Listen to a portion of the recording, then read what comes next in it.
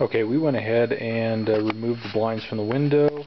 What you're going to do is if the blinds are not going down straight, you're going to balance them out either with the pull strings or your pull strings are maxed out, then you're going to go ahead and remove the bottom by sliding it off and underneath it's going to have these strings. Okay?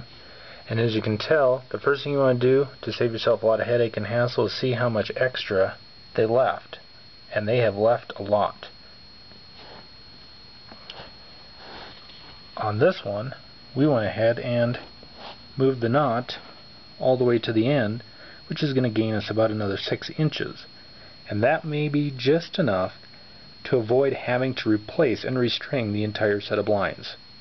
If you're going to restring the entire set of blinds, it's going to take you around 4 hours per 4x4 honeycomb blind.